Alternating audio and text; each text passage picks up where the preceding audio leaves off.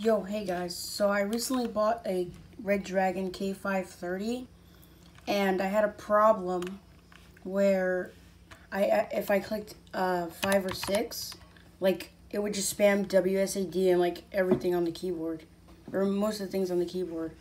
So like it, I think it was a macro that I accidentally recorded. So I'm going to show you guys how to like remove macros or factory reset your keyboard. So if you guys just hold FN2, which is this one, and then hold FN8 for five seconds, it should do a creep, uh, like like a stop, and then the lights will go away for like a quick second, and then if you whatever button was like broken for you, it should be back to normal. See, look, when I click five, it doesn't do anything.